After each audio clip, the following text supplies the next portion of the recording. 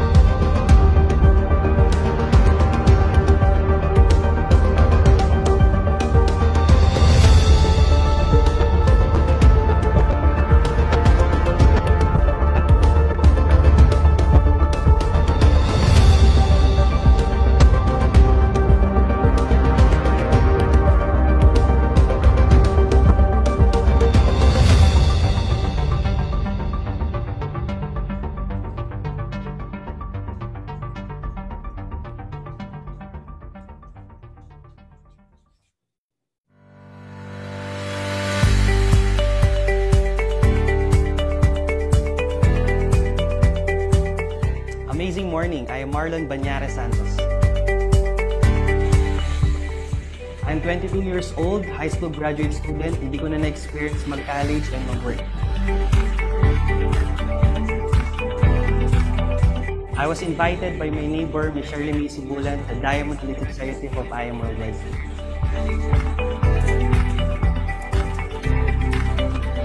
Ang main reason kung bakit ginagawa yung I Am Worldwide, of course, gusto ko makatulong sa parents ko kasi gusto ko habang buhay pa sila, mabigay ko yung best para sa kanila. And also, maging ah, inspirasyon ako sa maraming kabataan na at ah, young age, pwede mong ma-achieve yung mga bagay na gusto mong ma-achieve at makatulong ka sa maraming tao.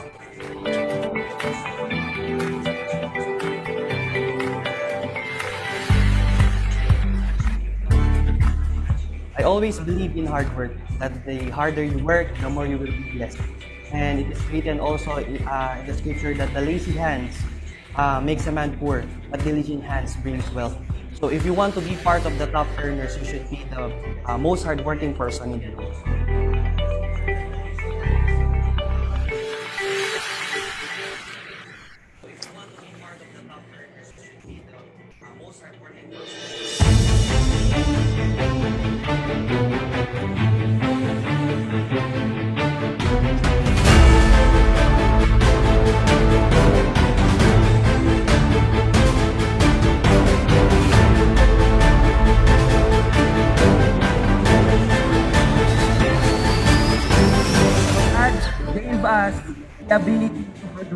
Kailangan maging aggressive ka sa pagtulong sa mga leaders mo. Huwag mong isipin yung income.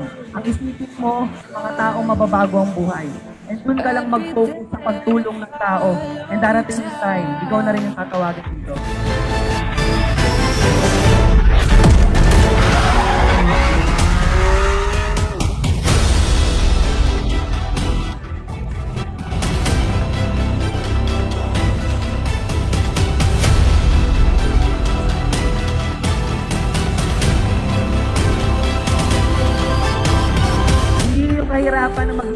Para makuha yung pangarap mo. As long as you have your family behind you, umaasa sa'yo na maging successful ka one day at makatulong ka sa kanila. It's more than enough motivation na gawin mo na yung business.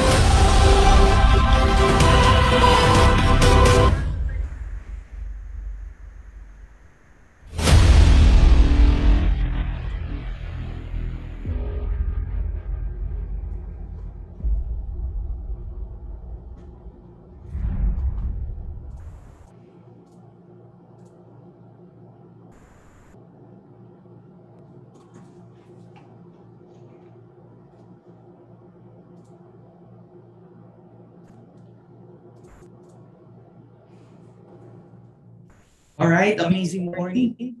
Ah, sa lahat, po ng ating mga ah, distributors worldwide. Check ko lang yung aking sounds.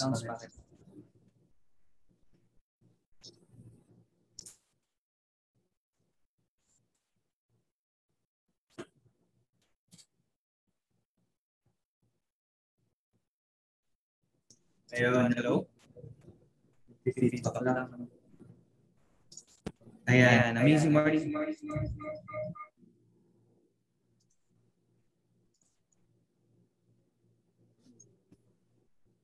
Ayun. Naka-on pala isa kong mic ng Zoom. Okay. So amazing morning mga mentors. No? This is Mentor Marlon Santos, uh, youngest diamond maker and I will be your trainer for today. So I'm very glad that you are here and I hope that everyone are safe and uh, healthy uh, um, during this uh, modern business na meron tayo ngayon. No? So okay na po ba ang aking sounds? Wala nang echo? Ayan. Naka-on po pala yung aking uh, yung ating mic no sa MacBook. So ngayon I think okay na. Paki-type naman po kung aking yung aking audio ay okay na, hindi na nag-feedback. So amazing morning po no. Ba batiin ko muna yung mga nanonood sa atin dito worldwide of course. Uh, naka-plug in sa atin dito ang mga nasa Kuwait. Ayan, amazing morning po sa lahat ng mga leaders natin diyan sa Kuwait. Especially po sa ating team no, Team Focus Worldwide, Team uh, Team Dragons and Team Empire. Ayan. And of course, nag-watch din sa atin dito ang mga taga ayan, taga Dubai. Ayun, meron din from Singapore, si Vanji, meron din from syempre dito sa Philippines, no? Meron na din nanonood sa atin sa Canada. So amazing morning po literal diyan sa Canada, no? Kasi umaga po ngayon diyan. And uh, of course, sa lahat po ng mga leaders ng Team Blast, Team MVP, Team Lions, Team Gome, ayan, teams um, lahat ng team no na uh, 001 ng ating companies no? Thank you so much for plugging in. And if you have members feel free to type in their names or comment their names in the chat box para masimulan po nila yung napakagandang topic na pag-uusapan natin na napaka-importante po nito because it is one of the ingredient para maging successful ka sa industry na pinasok natin which is network marketing. Okay? So I know you guys are very excited with the topic So hello, hello to uh, Mentor Grace. Amazing morning from uh, Team Focus Eagles Toronto. Uh, congratulations then for being the newest Sapphire Elite Executive. So meron din tayo from Hong Kong, from Cavite. So amazing morning po sa inyong lahat. So we are 562 participants, okay? Uh, going 1,000 na tayo. I believe bago tayo makapag-start 1,000 yan. By the way po, para po sa mga excited na, sino po dito ang excited na sa anniversary natin this coming Sunday? Type 1 naman. Sa mga excited na sa uh, manalo ng FJ Cruiser, ng Honda City or cash prizes. O yung iba naman doon kahit hindi naman na inaabangan nila yung Project 001. Ayan. Yung mga nag-purchase ng 6 boxes, ayan, naku, magpapamigay na naman ng limpak-limpak na salapi ang IM Worldwide. Ganun ka generous ang company natin. So invite more, I believe, aside from the raffle na ipaparamigay ng company natin for all the members na nag-work hard para magkaroon ng entry, eh magpapamigay din siya ng cash prizes, no? Cash prizes para sa mga a-attend for non-members. So uh, maganda talaga, it's very um, a good opportunity na talaga yung mga prospect mo nagdadalawang isip, mga kamag-anak mong negative, no, kaibigan mo, lahat ng mga na, na, mga users ng products, imbitahin mo Sunday 1 PM Philippine time, I believe yung simula ng ating program, via Zoom lang naman siya para alam mo yun mas lalo maging buo yung loob nila na sumali sa negosyong ginagawa natin which is yung IM Worldwide Business. Ayan. So alam ko marami na excited this coming upcoming anniversary. So don't forget lang po yung ating mechanics, no? Nakapost naman po yun. So I think we're good and uh, we are about to start for our topic. Ayan. So for our topic for today, ayan, let me show you my uh, PowerPoint slide, no?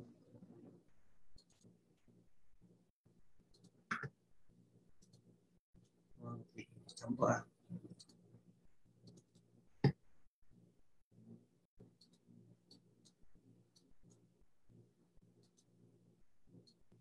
Ayan. Okay, paki-type 1 po. Kung clear ang ating ah, PowerPoint, nakikita niyo po, no? Ayan, so our topic for today is edification. Sino po dito first time mapakinggan ang salitang edification?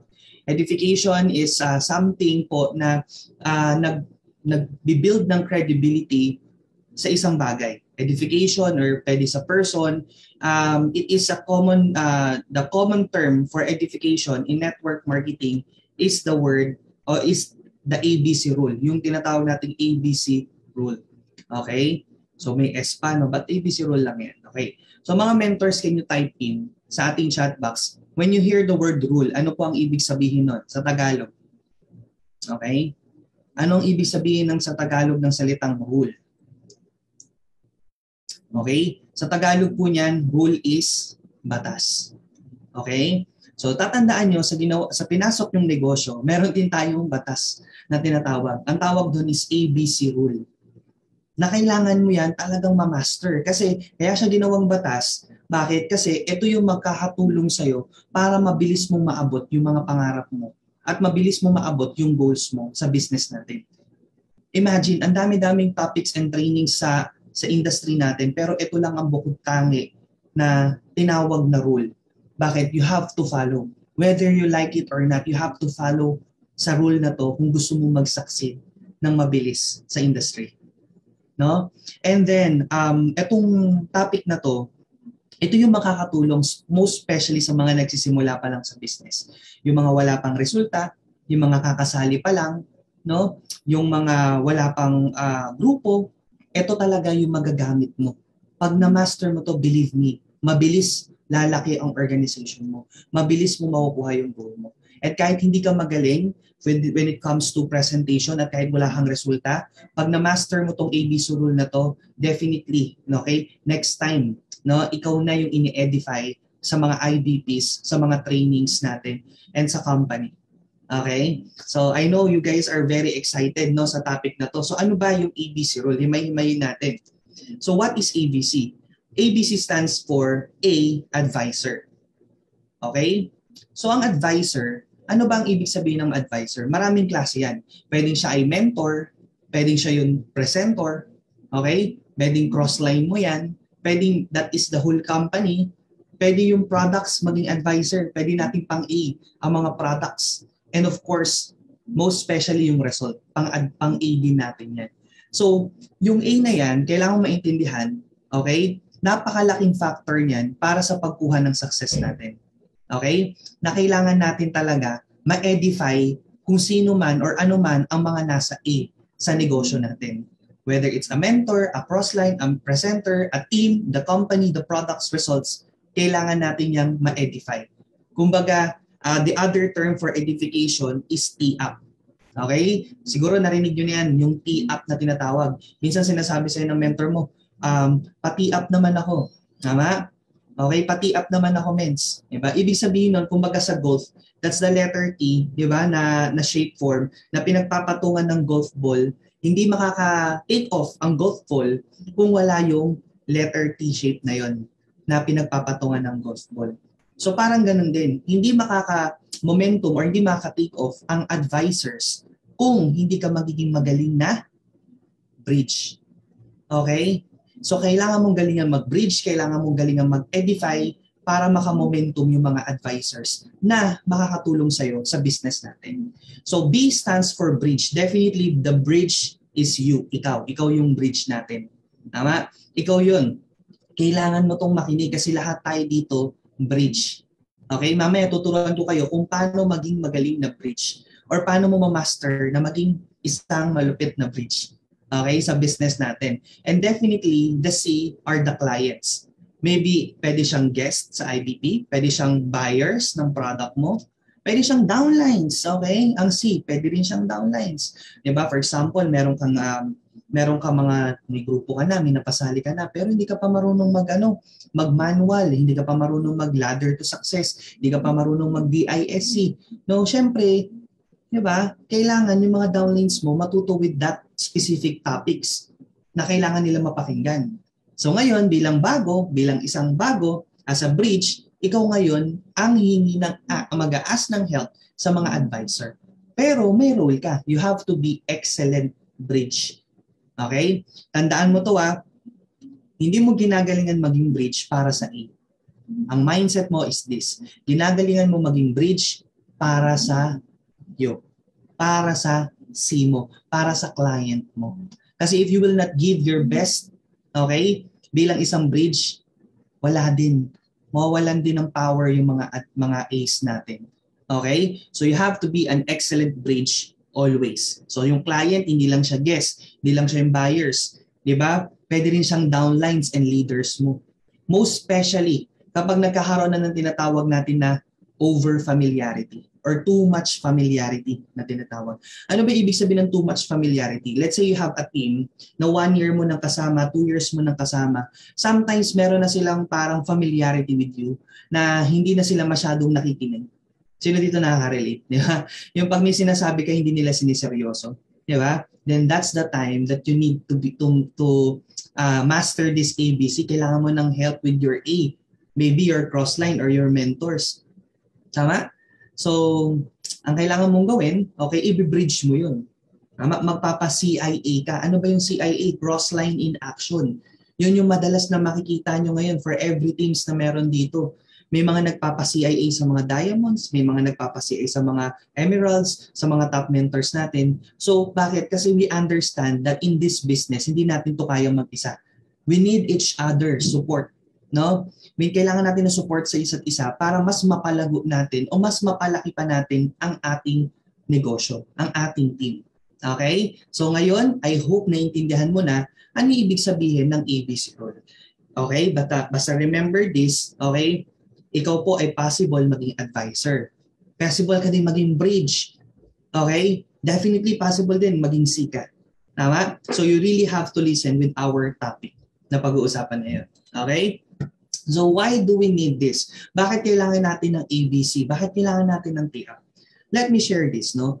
Kapag ikaw po, marami tayo dito mga nasa abroad. okay? Kapag ikaw po pumunta sa ibang bansa, definitely, doon mo mapifeel na magkaiba ang culture, tama? Magkaiba ang culture or sistema sa Pilipinas sa ibang bansa. Okay, for example, meron tayo dito mga nanonood sa Singapore, tama? Definitely you will agree with me na bawal magkalat dyan basta-basta. Hindi pwedeng magtatapon ka lang, hindi pwede yung mag-chewing gum ka, tatapon mo lang sa kung saan. So may batas din na sinusunod. Tama? Ganon din sa Middle East. Before, I heard na yung mga OFW natin doon sa Saudi, hindi sila pwedeng lumabas nang hindi sila nakabalot, lalo na yung mga babae. Tama? So, kumbaga, may mga certain rules ka na sinusunod sa pinapasukan mong kultura. Tama? Ganon din. Ganon din sa US, sa Canada. Definitely, there's a culture na meron doon na ibang-iba sa business, na ibang-iba sa Pilipinas. Tama? So, kailangan mo maintindihan na sa negosyo na pinasok mo kay IM Worldwide, there's already a culture set. May nakaset na po na culture sa negosyo natin na ang kailangan mo na lang gawin is mag-follow. Okay, stop share screen muna ako ha. Okay, para malaki. Okay? Meron din nakaset na system dito sa atin sa negosyo natin na kailangan mo lang din mag-follow. So, ang pinakaunang gagawin mo when you enter in this business is to humble down. Kailangan mo ng humility. Kasi ibang culture itong papasukin mo. Tama? Kung dati hindi ka marunong makisama, guys, you enter in a people business. Negosyo, people's business siya. No, kailangan magaling kang makisama. Tama? Kailangan magaling kang makibagay. Right? So that because that is the culture and kailangan mong ma-master etong pinag-uusapan nating topic ngayon, yung ABC rule. Okay? So ganun lang siya. Kasi kapag hindi mo in-embrace ang culture sa industry natin, mahirapan ka maka-take off. Okay? So ang kailangan mong gawin, embrace mo yung pinasok mong industry, embrace mo yung culture para mas mabilis kang maka-take off sa business natin. Are you learning? Okay. So let me get back with my uh, PowerPoint presentation. No? Okay. Why do we need this? Ayan. So vital for those who still haven't mastered the skill of presenting. Yung mga hindi pa sanay pa mag-IBP, hindi pa marunong mag-present or hindi pa excellent sa presentation. So yung mga advisors, yun yung makakatulong sa'yo to close the deals. Tama? Ano pa? For the C, to listen attentively, okay? Para mas makinig yung C mo. Okay? So ang bridge kasi, ang, ang role niya is i-edify, i-lift up, i-build up. Gawing credible. Okay? Gawing credible yung advisors sa client. So you have the most important part in the ABC. Lagi mong tatandaan yan. You have the most important part in the ABC. If hindi mo i-build up yung advisors mo sa C mo, definitely they will not listen attentively. So kailangan mo maging excellent na bridge. Okay, later ang pag-usapan natin paano yan, paano maging excellent na bridge. When the background of client is better than advisor and the bridge, age, wealth, and position, kailangan-kailangan mahusay ang magiging bridge. Mahusay ka na bridge. Okay.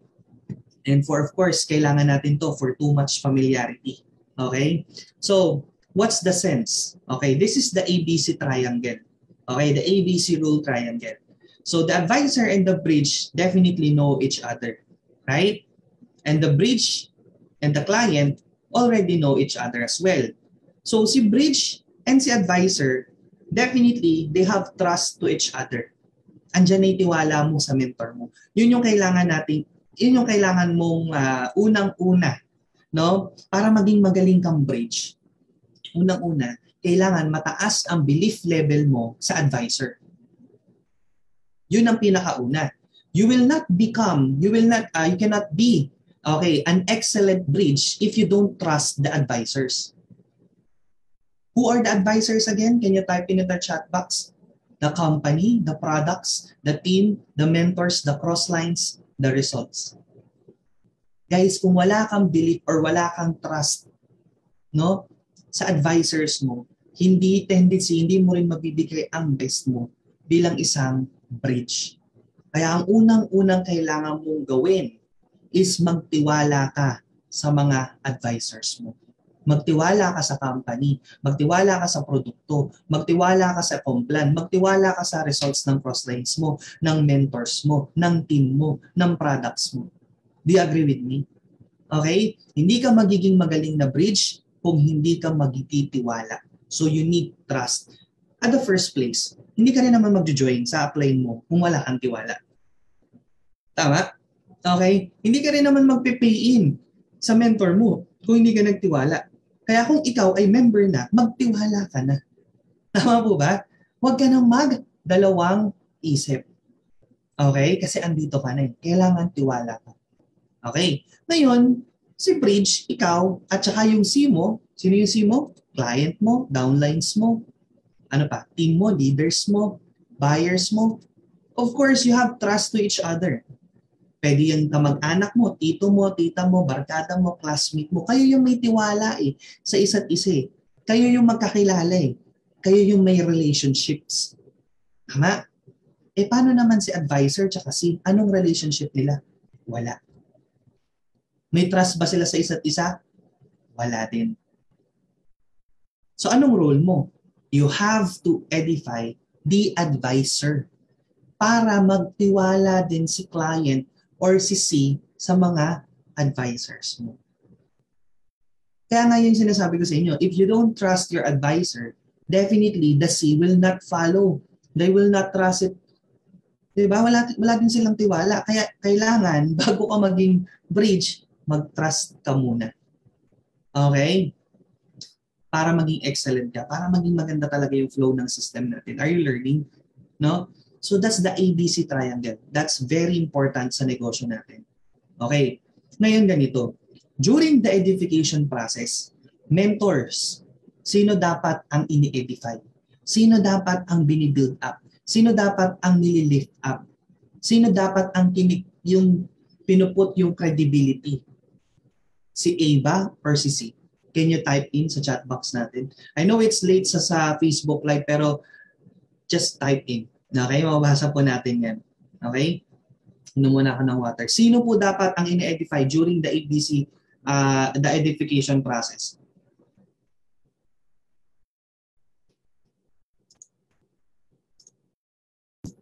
Of course, tama? That's the advisors. No? So, ito yung maling ginagawa ng mga baguhan sa negosyo natin. Pag nakakuha sila ng uh, big time na client, let's say, ma-connection, politician, doktor, ma, uh, uh, kumbaga, nag-graduate with doctorate, alam mo yon maganda yung credibility. Ang tendency, during the uh, presentation or during the training or kung ano man ang setup niyan, either training, events, ang ginagawa ng mga bridge, ang ine-edify si client. Totoo, may mga gumagawa nun. Di ba? During the meetup, ang sasabihin ng ano ng bridge um, doon sa mentor niya, a mentor, uh, this is my ano, my client, this is my, uh, this is doctor uh, doctor in philosophy, graduate in University of the Philippines, uh, top notcher, ang daming koneksyon, mentor, galingan mo mag-present. okay? So tama po ba 'yon? Hindi. Okay? Kahit ano pa ang background niyan, okay. Saludo tayo dyan. But the point is, kaya nagkaroon ng meeting is for them to listen to the advisor. So definitely, the advisor should the uh, should be the one to edify, not the C, not the client. So never ever build up the client to the advisors.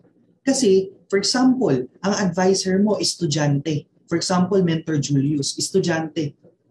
Hindi pa nakagraduate ng college. Tapos papakilala mo, teacher, ang ini-edify mo yung tao na yun. So, ang mangyayari, mawawala ng confidence yung mentor mo na magsasalita. Kasi, ang galing-galing pala ng client. Kasi yun yung tinitiyak mo eh, during that meet-up eh. So, mawala ng confidence sa advisor. Do you think mabibigay niya yung best niya sa presentation? Mako-close deal niya kaya yun? Hindi.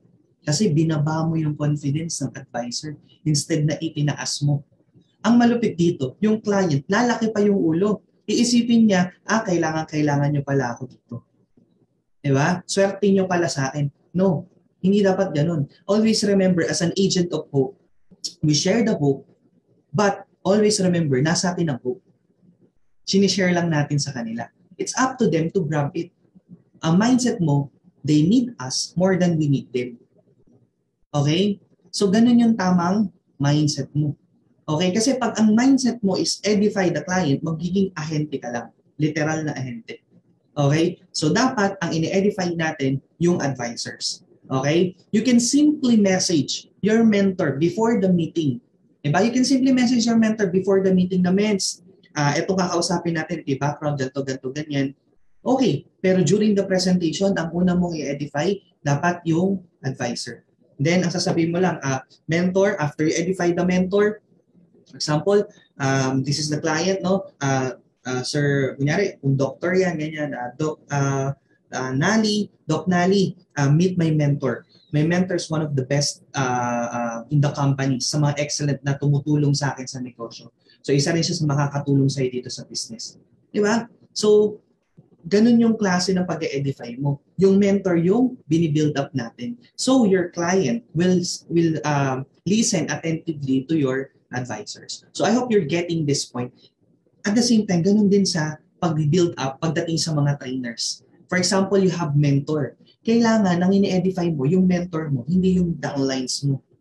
Kasi yung downlines mo, sila yung dapat na makikinig sa mentor mo. Tama? So again, di ba? Kailangan maintindihan mo the right process of edification. Kasi this will, alam yan, kung paano ka sa advisors mo, yun din ang gagayahin sa'yo ng mga downlines mo, ng mga C mo. So if you don't edify your mentor well, sa buong grupo. Pag ikaw na ngayon yung time na magsasalita, you will experience the same. Tama? So ganun lang siya, eh. monkey see, monkey do. Okay? So kailangan galingan mo kasi yun yung magiging standard sa grupo na bubuin mo. Or if you have existing team, that will be the standard. Okay? So ganun kasi ang negosyo po natin. So let me discuss these important factors in edification. Okay? So, sa edification natin, okay, 10% of that is verbal. Okay? So, let, uh, for example, yung when you edify someone, syempre meron ka nakascript dyan. ba? Minsan hinihingi pa natin yan sa mga mentors natin. Mens, pahingi po ng ano, ng uh, ng script uh, ng ano ng background ng aking i up or i-build up. Pero guys, that is nothing kung babasahin mo lang ng walang buhay. 'Di ba? Nakalagay doon. Grabe, 50 million circle. House and lot achiever. Ang ganda ng edification pero ang nangyari, the way you uh, the way you deliver it sa participants or sa sa group, 'di ba? Sa webinar is that um, uh, meet our speaker, uh, siya ay house and lot achiever, uh, million at uh, 50 million circle, naka supercar. Ano niyo walang kabuhay-buhay? 'Di ba? So, that's only 10%. Your script, the verbal, yung babasahin mo, that's only 10% pagdating sa pag-edify. That's only 10% ang kailangan mong ma-master din is yung tinatawag natin na what? Tone of voice. Okay? Tone of, tone of voice. Very important yan. Tama? For example, naatasan ka ng mentor mo bilang isang maging host. Ang host, kailangan excellent din yan. Kasi ikaw yung magdadala ng flow ng program. So kapag mababa ang energy mo, bababa din ang energy ng mga nanonood sa'yo. Tama? Kapag ikaw ay mababa ang energy mo, pag nag-introduce ka ng advisor doon sa client mo, no? Bababa din yung energy nila. So, when you are excited, ano dapat ang tamang tone of voice? Number one, when you are excited, you talk fast, not so fast, di ba? When you, when you want to uh, excite someone, di ba? You have to talk fast But of course, syempre, yung mataas din yung boses mo with excitement. Di ba? Parang for example, meron kang, uh, meron kang na-discover na, uh, for example, nanalo ka lang sa loto, di ba? Ano ba yung excitement mo? Di ba? Talagang excited ka pag share mo yan. Di ba? For example, nakakuha ka ng mataas na grade nung ikaw ay nag-aaral. Di ba? Nakakuha ka ng bonus. Tama? Di ba? So excited ka. Dapat ganun ka din kasi this the, uh, the the oppor- the business that you will share is opportunity to them. Kailangan dapat yung tone of voice mo mataas din, excited ka din. Tama? So, pwede mo yung practicein. Di ba? Later on, na may pwede mong practicein yan sa salamin. Yung tone of voice mo, dapat excited ka, dapat nakasmile ka. Malaking factor yon Di ba? Kasi kahit bigyan ka natin ng magandang credibility ng taong magsasalita, if yung tone of voice mo naman is wala din, di ba? Parang wala ding value yung results ng tao na ini-edify mo. Di ba? Pero ito ah, kahit walang resulta, yung taong i-edify mo, pero kung magaling ka mag-edify, like the verbal, the tone of voice, maganda, definitely, ma malilift up mo, makik- yung magagawa mo credible, yung tao na nagsisimula pa lang. For example, ang mentor ko, limbawa si um, si mentor ano, uh, John Ezekiel. Di ba? For example, si mentor John Ezekiel ang mentor ko, bata pa lang. Di ba? So, pwede kong sabihin sa client ko, ah, alam mo, na-excite ako. Kasi yung magdi-discuss sa'yo ng business, bata pa lang yun. Pero isip matanda. Grabe yun. Di ba? You can use the word, yung mga ano natin, yung mga word na ginagamit natin usual. Di ba? Kapag nagkukwento tayo. Di ba? Yung alam mo ba, eto na, ito na nga, 'di ba? Pag narinig mo yung mga word na ganyan, sa isang tao talagang makakot mo yung attention eh. Tama ba? Makakot yung attention mo eh. Alam mo ba? 'Di ba? You start with this. Alam mo ba? Yung magdi-discuss sa'yo ng business, bata pa lang pero kumikita na ng malaki sa negosyo natin. Bata pa lang pero napakahusay mag-present ng business at ang dami niya na rin natulungan. Isa na ako doon. Ito, busy to. You can use that word. Diba? Everyone here in this business are busy. Kahit bago pa lang, busy yan. Tama, busy to. Pero alam mo, naglaan ng oras sa atin para i-discuss sa yung negosyo. So you have to listen. Diba? Hindi kailangan may sports car, may house and lot, or kung ano man, para i-edify mo yung tao. Those simple words, can you type in in our chat box, no? Or can you write it down if you have notes? Sulat mo yun. Napahalaga nun. Etong tao na to, isa to sa tumutulong sa akin, marami na tong taong natulungan, isa to sa excellent mag-present, busy to pero nabigyan tayo ng oras. Yung mga words na yun, yun yung yun yung magpapa-credib ah yun yung mag-edify sa tao magsasalita. Yun yung magbibigay ng credibility. And definitely yung C na makikinig will respect, will listen, 'di ba? Will focus dun sa kung ano man yung sasabihin ng tao na yun. Tama? Can we do it? 'Di ba? Every time may mga IBPs tayo, nagpapa nagpapa-closing tayo sa mga mentors natin, can we give our best? 'Di ba? Kasi para sa iyo naman 'yun eh, hindi naman sa advisor 'yun eh. Kasi pag di mo ginawa yung best mo, kahit ganong kagaling na advisor, at hindi naman nakikinig si client kasi palpak tayo dun sa pag-preach. Palyado tayo sa pag-preach. Ang sales na mawawala, hindi naman sa advisor mo. Ang sales na mawawala sa'yo. So you have to give your best. You have to be the excellent and the best advisor in IM Worldwide. Ganun siya. That's your mindset. Gagawin mo na rin naman yung business, bakit hindi mo pa galingan? Tama? And what is the 60% pagdating sa uh, edification? Non-verbal. Okay? Non-verbal, ito yung hindi mo sinasabi. That is the most powerful pagdating sa edification. Ano ibig sabihin nun? Ano ibig sabihin ng non-verbal? Okay? Ito yung kahit hindi mo sabihin, ito yung pinapakita mo. For example, in a business setup, may, may, may business setup tayo. Alam mo, this is how my leaders edify me. Okay? I still remember nung nandun kami, nag-invite si Mentor Boy, which is uh, one of the multi-millionaire na si Mentor Boy. Grabe, ang dami ng resulta, sports car, may condominium na. Nung nag-start pa lang siya, napakahusay niya mag-edify. Na, naalala ko, nag-invite siya, may invite siya mga employees din. Nasa Starbucks kami. And um, ang ginawa niya, after niya akong i-up or build up sa client niya, pumunta na agad siya, uh, tinanong niya na agad ako, Mens, anong coffee ang gusto mo? Diba? That's non-verbal eh. Or kahit hindi mo natanongin eh, yung bibigay ka na lang ng tubig kung wala ka pang budget. Tama? Yun yung mga non-verbal. Kumbaga, pwede mo sabihin na ine-edify ko. Tama? Okay? May boses po ba ako? Ayan. Ine-edify ko. Ah, yes, mentor ako. Pero pagdating dun sa action, hindi nararamdaman. Tama? For example, sa Zoom meeting na lang, di ba? Okay, pinakilala mo yung tao. Grabe, in-edify, pinapakilala ko po sa inyo yung mentor ko, blah, blah, blah, blah, blah, blah. Tapos after that, nag-off cam ka na. Hindi ka na nakikinig. That's not edification. Okay, 60% of edification is action, yung nakikita sa'yo. Tama? Talk is cheap. Totoo yun. Sabi nga ni mentor Alexa, you have to show them that you really value your, your advisors. And one way of really valuing your advisor is through action. Yung talagang pinapakita mo siya na kanya na nakikinig ka talaga sa kanya. Diba minsan todo up tayo sa advisor natin. Tapos behind behind our mentors, ang dami na nating sinasabi. Ama, todo up tayo sa company. Ang galing-galing natin mag-post sa Facebook. Maganda yung product, maganda yung ganito, maganda yung ganyan. That, diba? Ganda ng post mo sa Facebook at after that, puro ka reklamo. Tama? Puro ka reklamo, sabihin mo, grabe naman yung company, ganto, ganto, ganyan.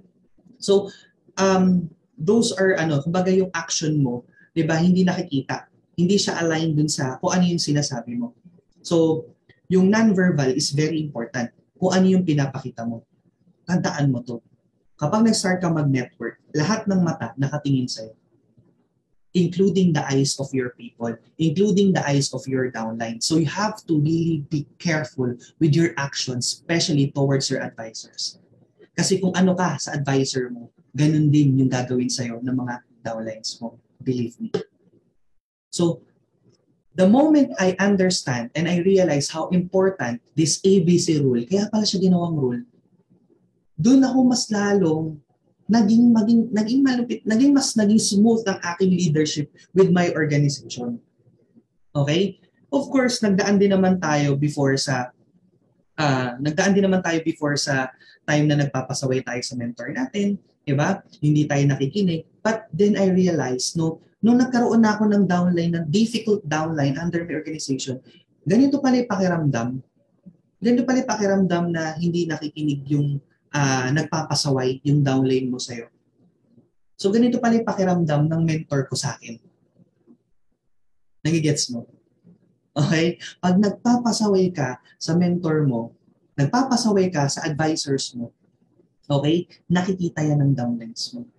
Or hindi man nakikita yan, may tinatawag na karma. May tinatawag na karma. Ano yung klase, dalawang klase ng karma? Okay? Good karma and bad karma. Okay? Pag good karma, ibig sabihin, pag maganda yung ginagawa mo towards your advisors, ganun din yung same na same na ma-experience mo sa mga members mo. Okay? Pero kapag pangit ang pinapakita mo at pina- ginagawa mo sa mga advisors mo, same na same din ang may experience mo sa mga downlines mo.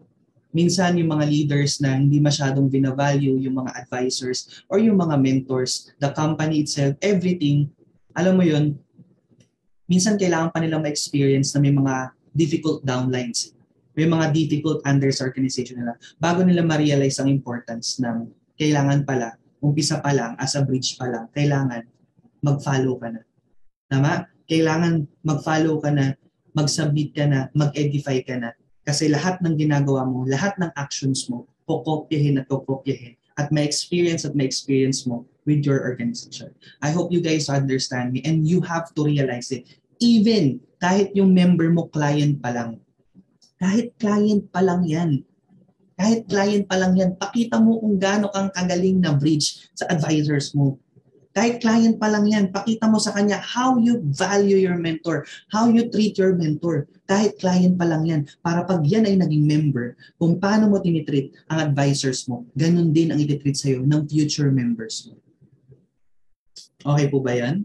Di ba? I hope you get me, uh, um, you get my point kasi mahirapan ka talaga dito sa negosyo natin kapag di ka marunong makisama, okay? At hindi ka marunong fumalo sa tamang culture. Okay? So magkaka mahirapan ka talaga. Pero kung marunong ka mag-follow sa culture, definitely magiging madali at smooth sa'yo yung pagbe-business mo. If you have good relationship, if you trust your advisors, definitely magiging madali sa'yo lahat. Remember this, your advisors are not your enemies. The company is not your enemy. It's your best friend. Yan ang tutulong sa'yo maabot ang pangarap mo. The BODs, not your enemies. No? Your mentors, definitely not your enemies. The products, not your enemies. Yan ang tutulong sa'yo para maging healthy ka at marami ka matulungan. The crossline, definitely not your enemies. Minsan, we tend to um, uh, get jealous with the achievements of our crosslines. Minsan sinasabi natin, buti pa sila, ay kasi ganito lang yan, ay kasi ganito lang yan, instead na maging masaya tayo. Guys, remember this, kapag may nagiging achiever, you have to be happy. Kasi ibig sabihin lang nun, pinapatunayan niya na posible na maabot yung certain goal na na-achieve niya. At kung posible, definitely possible din sa'yo. So you have to be happy with other people's success instead to be envy and to make issues about that certain achievements. Ay, kasi kaya lang naman ganito yan. Ah, hindi naman ano yan. Ah, kasi ganito yan. You know what? When you hear a person doing that, lumayo ka na. Okay? Lumayo ka na because that is not, okay, the culture and that is not the right ethics of a good distributor in our company. Tama? So, yun po yung uh, yun po yung pinahalagahan natin sa core values natin sa ating negosyo. Okay? So, next natin, how do you do it? Okay? Paano natin 'to gagawin? Build rapport before presentation.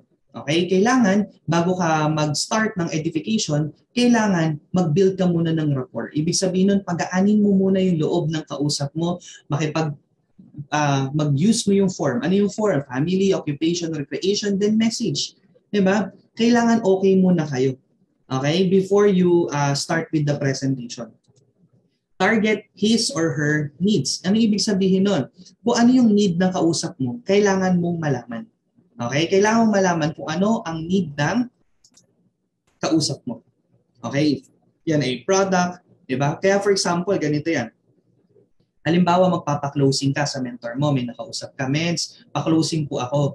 Tatanungin yan, dapat sasabihin mo na sa mentor mo, kahit hindi na tanungin ng mentor mo, para mas mabilis mag, uh, para mas mabilis ma-close ang deal, syempre nag-ask ka na nga ng help sa advisor, dapat sabihin mo na kay mentor mo, mens, na, na-rapport ko na yan. Na, na ano ko na yan, na form ko na yan. Ang need niyan men talaga barley yung products. Kaya men, ah, yan, at least binigyan ka idea. Tapos nagustuhan niya din yung just for you. Tapos ano men, ah, gusto niya din itong i-share sa mga kakilala nila sa abroad. So bigyan mo na ng hint or bigyan mo na ng idea yung magko-close ng deal para at least mas mapunto niya kung ano yung need ng kausap ng tao. Tama? So bibigyan mo na ng idea. Okay? That's how you do it properly. Hindi yung basta introduce lang, ay magaling naman si mentor. Eh. Minsan may ganun tayo mindset, magaling naman si mentor, hayaan mo siyang manghula kung ano ang need ng client mo. Ano yun? 'Di ba? Ginawa mo pang man manghula yung mentor mo. Tama? For example, magpapa-mentoring ka. Magpapa-mentoring ka sa grupo mo. O ano naman, separate naman from the presentation. Magpapa-mentoring ka sa grupo mo. Inform mo na yung advisors. Okay, inform mo na yung advisors, yung crossline, yung mentor, kasi naman yung advisors, kung ano yung need ng grupo mo. Para si advisor, mas maipupunto niya kung ano ba talaga yung gusto niyang sabihin sa team. Diba? Yung mabigay niya talaga yung perfect um, service or perfect advice for the team. Kasi sinabi mo na yung kailangan ng grupo mo. Kaya nga, lahat ng mga leaders ko, minsan men's pa-mentoring naman. Tinatanong ko siya, ano bang kailangan ng team mo? Men's, bahala ka na. Kung ano na lang yun sa tingin mo dapat, hindi pwedeng ganun. Kailangan you have communication with your team. Alam mo kung ano yung need ng grupo mo. You have communication with your client. Alam mo kung ano yung need ng client mo. Kasi yun yung sasabihin mo sa lahat ng aim mo para mabilis at madali nilang magawa or ma, ma, ma kumbaga, mapunto nila kung ano ba yung need or ma-help talaga nila kung ano yung need ng tao kakausapin. You can simply ask, mens, kasi malakas ang production pero walang naduduplicate. Tama? So, more on leadership ang topic nung mentor mo. Or paano naman, mens, marami pong active pero walang production. Oh, ang, ang itatopic ng mentor mo o ng advisor mo is more on skills. Tama ba? Kasi binigyan mo na ng idea and definitely, yung mga participants na makikinig, all eyes and nakangiti. Kasi they're very interested sa pag-uusapan. Kasi yun yung need nila. Do you get my point? Same with the client. Same with the client. Sinabi mo kung ano yung need ng client, na rapport mo. Yun ngayon yung sinasabi mo dun sa uh, advisor mo. Ngayon, nung nakiusap advisor, Hi, nice to meet you po. I'm uh, Marlon. Ako po yung isa mga tumutulong kay uh, kay uh, Rex dito sa negosyo. Bali, I've heard po na talagang nagka-interest po kayo sa Barley. Tama. So, ma- ma- okay. At least hindi, uh, masasabi ng client, Okay, kasi minsan feeling nila, uh, ubos sa oras, marami pang pinapakilala kung sino-sino. Tama. Pero pag narinig nila na, alam mo yung parang nahuli agad ng advisor yung ano, yung yung gustong pag-usapan ng client, 'di ba? Mas mas madali, no? Mas madali, no, yung um tawag dito, mas madali yung magiging usapan. Hindi tatagal yung closing yung Di ba?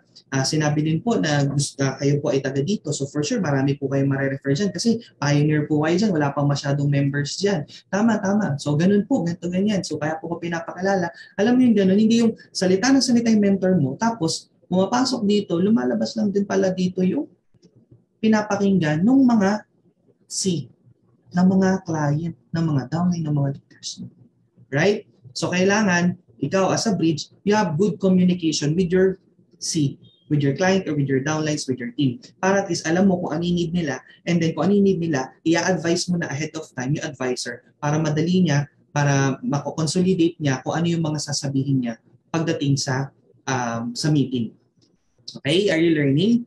Okay, next natin. Okay, if ever na merong mga bad experiences, yung iyong members, yung iyong mga uh, tag dito, yung ibang mga client, get sympathy. Diba? Ibig sabihin nun, um, kailangan syempre na intindihan mo din sila. So doon pumapasok yung training na tinuturo sa atin na feel, felt, found. ba? Yung for example, na scam pala tong tao na to. Huwag mong sasabihin na ay hindi po kami scam, ba? Feel, felt, found mo na. Sabihin mo, ah, I understand po na na-scam kayo. Kung may karanasan ka din na na-scam ka, you can tell para at least makaramay po sa kanya. Actually, ako po na-experience ko yan, or kuya ko na-experience ko yan. Ako po kahit di ko yan na-experience, pero alam ko, alam ko po ang pakiramdam ng naloko, ganito, ganyan. Pero uh, ganun din po yung actually naisip ko before ako mag-join dito, pero I've realized nung napag-aralan ko yung business, ibang-iba po pala siya. Di ba? Sabi nung client, ah kasi dun sa dati kong sinalihan, pinasali lang ako, tapos pinabayaan na ako. Eh. Naiintindihan po kita, tita, kahit ako nasa sitwasyon mo, may inis po talaga ako. Eh. Pero dito po, alam mo, tita, hindi naman po ganun. Kasi akala ko din po ganun before. Pero nung pumasok po ako dito, they treat us, uh, they treat me as a family in the in the business. Hindi po siya yung gagawin mo mag-isa. And definitely po, ganun din po yung gagawin namin sa inyo. Kasi dito po, tulungan. Kapag naging successful ka, magiging successful din po kami. Kaya wala, lahat po ng alam namin, I'll make sure na ituturo po namin sa inyo. Bakit? Kasi your success is our success. E okay na kayo, na wala na yung mindset niya na parang, ah, hindi ako tutulungan, or baka papabayaan ako, or whatsoever. Diba? So get sympathy din. Okay? So kumbaga, uh, pagdating sa presentation or pagdating sa pakikipag-usap, hindi lang yung basta one way lang. Dapat din two way din siya. Okay? Kailangan bati muna kayo ng iyong prospect or ng iyong uh, kausap. Huwag awayin ng prospect kahit nega pa yan. Okay? Pag effective ang technique mo, ituloy mo lang. Okay? Are you learning? Next mo natin. Ayan. Huwag sa harap ni A. Ano ibig sabihin nun? Huwag sa harap ni advisor, i-build up si, uh, huwag sa harap ni advisor, i-build up siya. No, kasi it will be scripted. It will sound scripted. Kailangan, um, ang gagawin mo, dapat before the meeting, na i-build mo na o na-edify mo na yung advisors mo. No? So, ganun lang din. For example, this coming October 10, meron tayong ano, meron tayong event. Alam mo yung event, napakalaking factor niyan pagdating sa uh, edification. Alam niyo po ba, ako nag-start ako sa industry 15 years old. Hindi naman talaga ako seryosong gawin ng business. Unang-una, may nagpapaaral sa akin mga kapatid ko. And then, uh, bata pa naman ako. I was 15 years old, di ba? Pwede naman mag-aral na lang din ako, kagaya ng mga classmate ko. Tapos umasa ako sa mga mag-anak ko. Pero may ano ako isang attend, na attendan na event in our previous uh, network marketing company na talagang na-inspire ako sa event na yun. Talagang nakita ko yung sarili ko na one day isa rin ako sa tatawagin dyan. One day isa rin ako sa makakait ng incentive. One day isa rin ako sa magsasalita para makapag-inspire. So napakalaking factor nung event na naatinan ko na yun. Kasi doon po ako natutong mangarap. Doon po ako nagka-vision na alam mo yon na hatawin yung ganitong industry because nakikita ko yung sarili ko sa present ng mga nauna sa akin. 'Di ba? So, ganun din mga mentors, no? 'Di ba magkakaroon tayo ng event ngayon? Maybe ikaw yung grupo mo ngayon medyo tulog. Tama? Ano ibig sabihin ng tulog, 'di ba? Hindi masyadong active, tama? Hindi masyadong humahataw sa business natin, 'di ba? I-edify mo yung event. Encourage mo sila. Tama, kausapin mo sila. 'Di ba? Alam ko na yung iba dito, napagod na, nahirapan na, gusto na sumuko. Guys, uh, this coming October 10, attend tayo ng anniversary ng company. Kasi for sure, marami tayong maririnig na stories doon, may inspire tayo, and uh, malay mo, isa tayo sa manalo doon. Diba? Project 001 or ganyan, edify mo yung event natin. Kasi pag umatin yan ng event, at kagaya ko, na-inspire din yan sa mga success ng mga taong naging, uh, sa, success ng mga tao na i-recognize sa anniversary, for sure, yung grupo mo hahataw. For sure yan may inspire.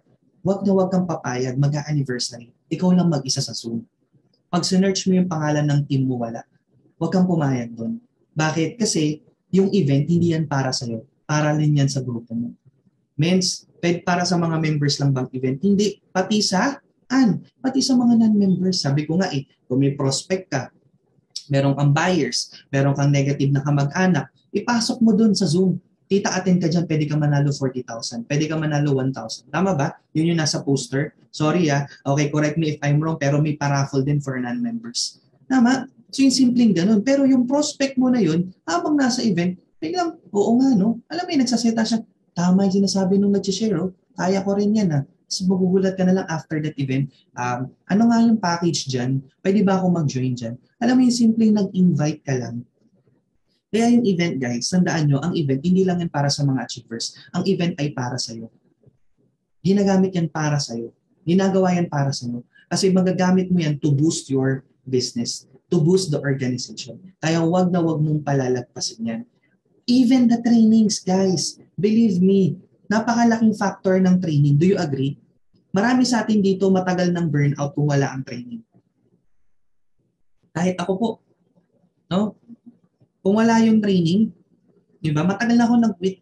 Kasi syempre, hindi ka naman filled with wisdom, di ka naman filled with uh, motivation, inspiration. Siyempre, yung naririnig mo sa balita, negative, naririnig mo sa kapitbahay mo, sa mga pamilya mo, negative. Puro poverty ang pinag-uusapan. Pero dito, about prosperity, di ba? About positivity.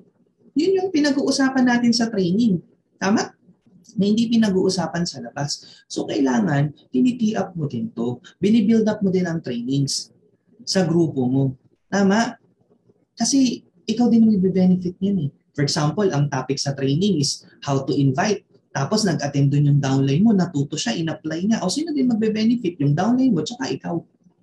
Tama? Kaya wag mong, wag mong ano, wag mong uh, titipirin ang sarili mo sa pag edify at pagtiti up kasi this age, sila talaga yung makakatulong sa atin sa business natin. Diba? Kahit di ka pa magaling, kung magaling ka mag-build up, diba? kung magaling ka mag-edify ng, uh, ng aim mo, panalo ka sa negosyo natin. Diba? Marami kong mga kilala dito, top earners. Diba?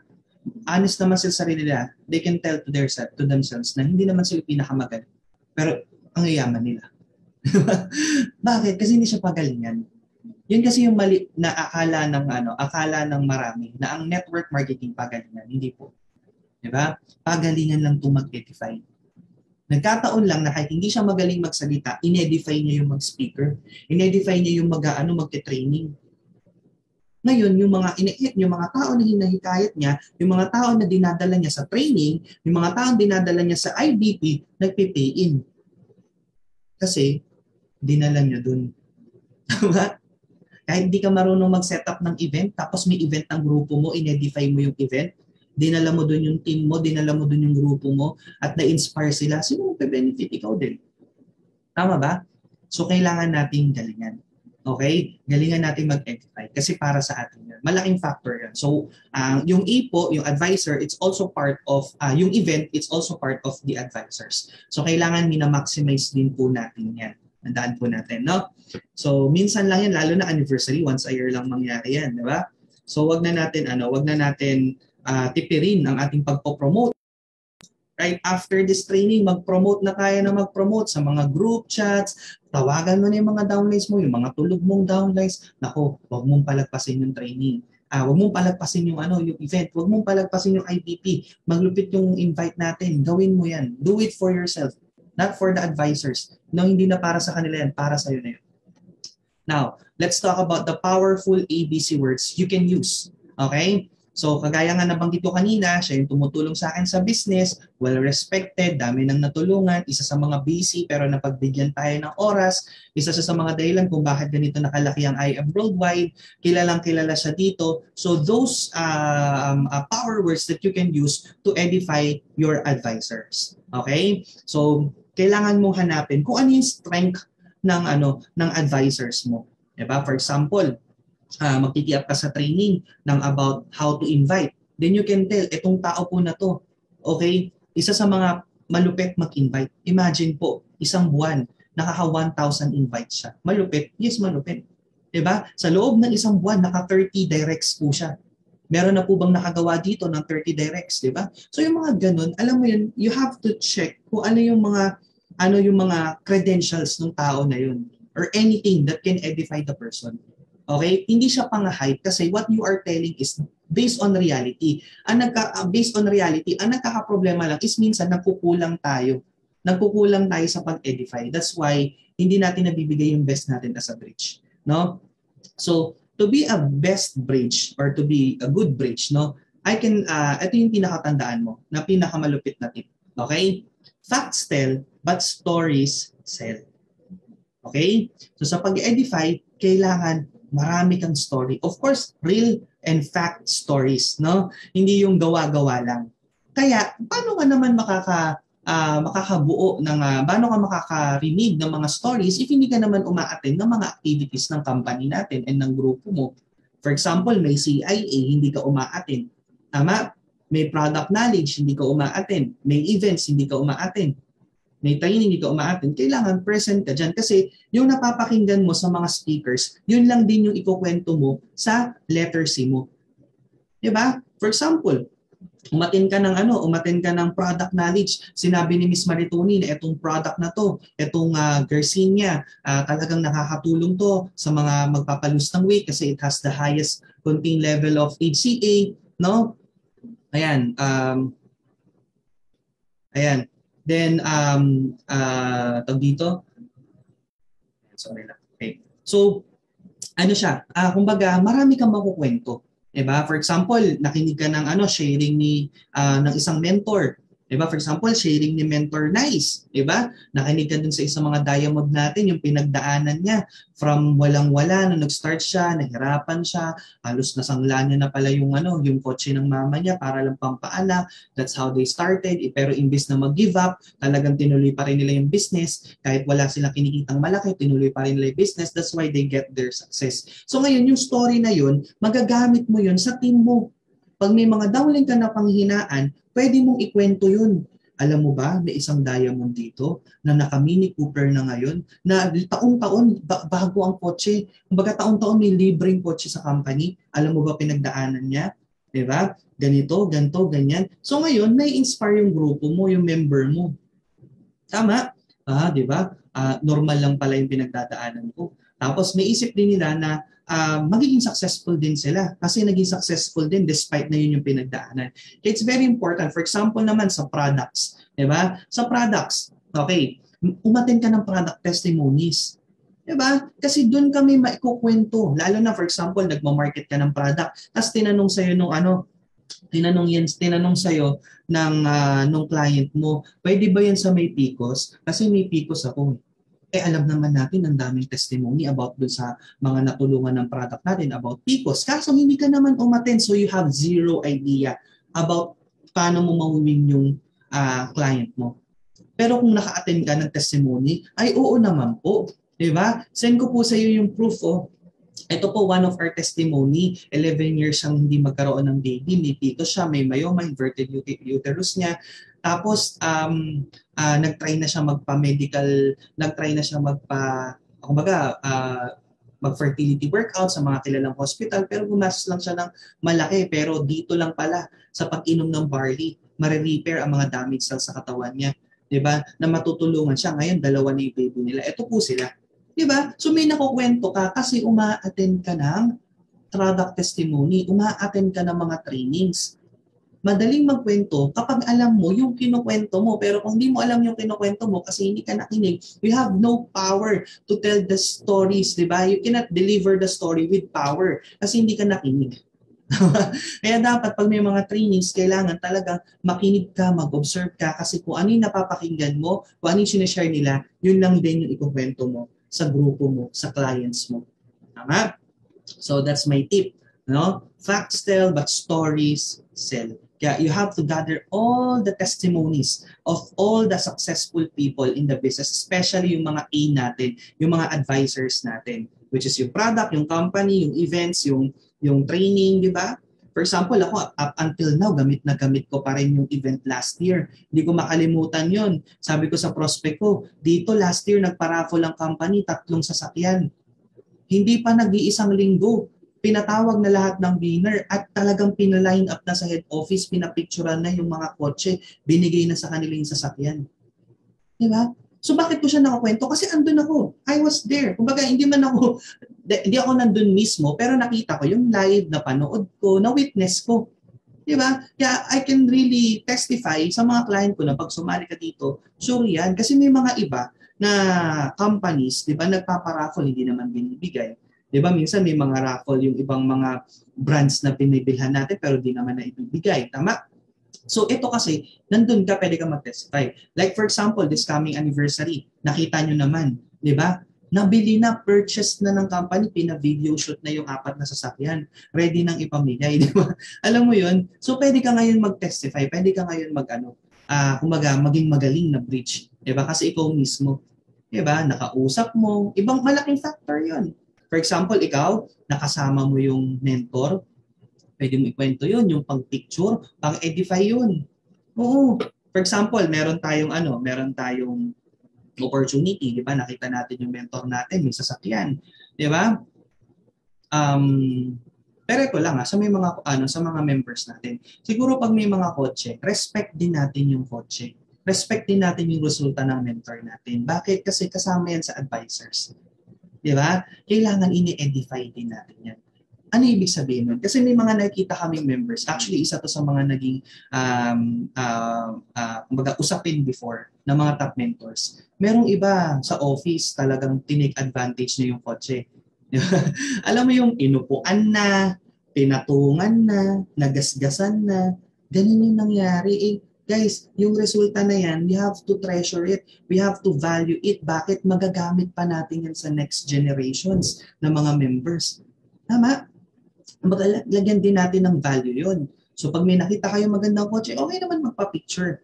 Diba? Okay na magpa-picture, magpa-ganyan, pero yung uupuan mo pa yung hood, Meron ako nakita, inupuan talaga yung hood. Sabi ko yung may-ari niya, hindi pa naupuan yung hood na yun eh, ng kotse niya. Tama? Tapos itong mentor na to, inupuan na. Siyempre, mga mentors, hindi naman pwedeng mang-away, hindi naman pwedeng sabihin na, ay, bawal yan. Pero siyempre, diba, lagyan din natin ng ano, lagyan din natin ng ano yun, ng value. Kasi pang tee up din natin yun eh. Kailangan, ano natin yun, i-value din natin yun. Kasi yung kotse na yun, magagamit pa yun, makita pa yun ng mga members natin. Tama? So, ganun din siya. For example, nakita ka ng top mentors, pa-picture ka. Tama, picture ka, pwede mo pang post para, for example, di ba, minsan nagkukwento tayo sa PowerPoint.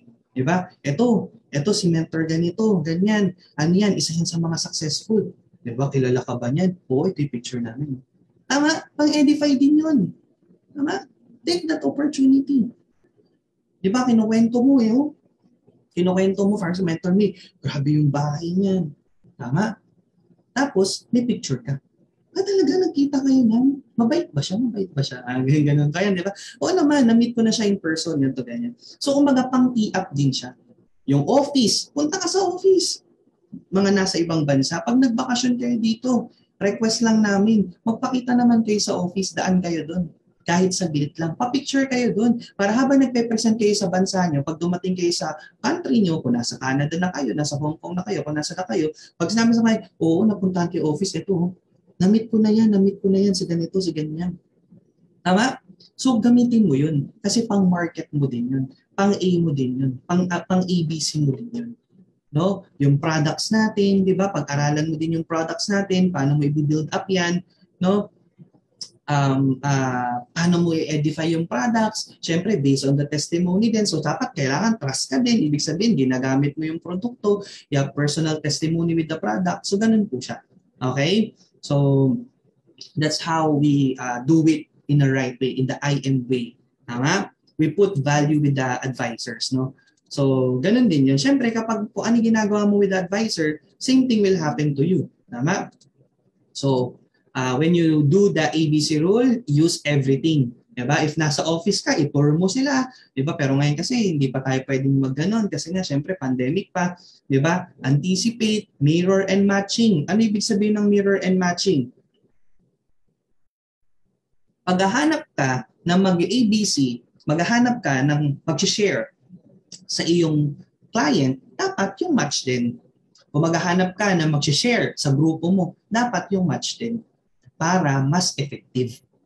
Para mas effective. For example, may downline ka or may invite ka student.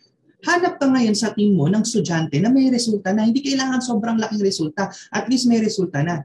Pag yun ang pinakilala mo sa student na invite mo, wala siyang excuse. Nasasabihin sa sarili niya na hindi ko kaya yan kasi itong estudyanteng kaharap ko, nagawa niya. Kung nagawa niya, magagawa ko din. So dyan papasok yung challenge, motivation. At the same time, may inspire din siya sa resulta ng tao na to eh pag estudyante invite mo, pinakilala mo sa negosyante. Ano isipin ng client mo estudyante? Ah, kaya mo naman nagagawa yan kasi ano eh, negosyante ka eh, marami kang contacts eh. So very important din yung matching. Hindi basta-basta hahata ka ng advisor. Kailangan din mag-iisip ka din, sino yung best person na parang pakilala ko dito?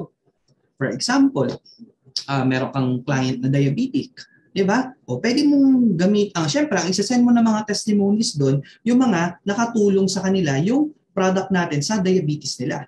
Or if di kakilala kang person, live pwedeng mag-share mas maganda. Tama? Alam mo yun, para mag-match, mag-match yung client mo.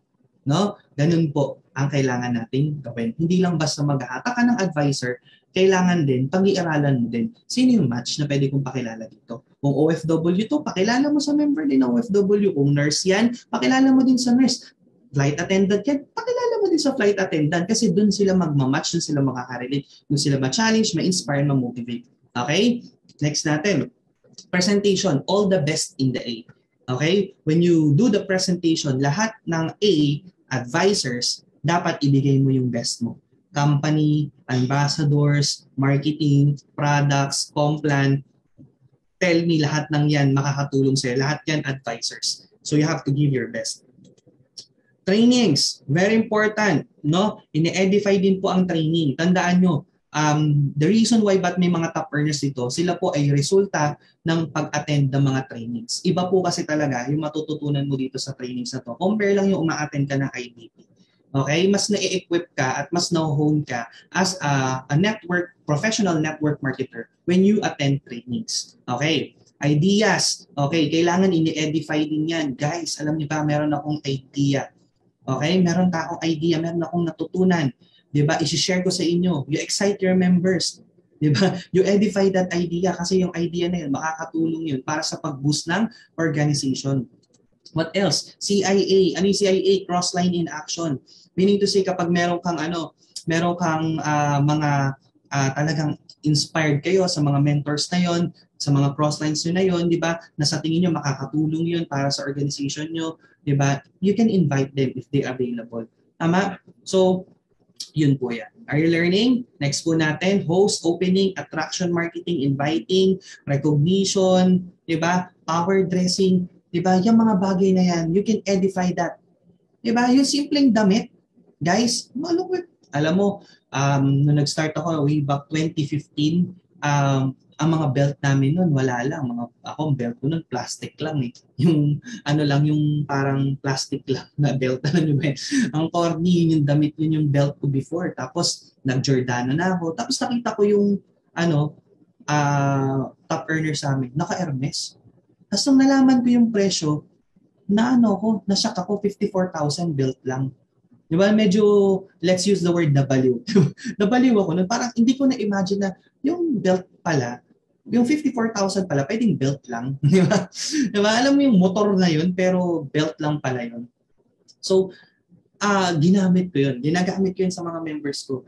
That, ah kailangan mo maintindihan to ha. Lalo ni mga nakikinig. Yung mga yan, yung mga brands na yan, it's not about to brag. Okay? If you're seeing those brands, those achievements, those luxury things na nabibili ng mga top mentors or even the mentors in our company, if naiisip mong bragging yun, you're getting it wrong. Nagkakamali ka. Okay? Mali ang perspective mo. Alam mo, kaya nila nilalabas yan para sa organization mo. How? Kasi you can use their stories. You can use their stories para ma-inspire ang grupo mo. Let me give you an example. Sila Mentor Hannah, tsaka sila Mentor Roan, like one week ago, two weeks ago, nagpunta sila sa Ernest Belt. I think it's in Greenbelt. Diba? Alam mo yun, nakabili sila ng belt for sure. Diba? 50,000 plus yun. Alam mo, sinare ko sa mga members ko. Alam nyo ba dati yan?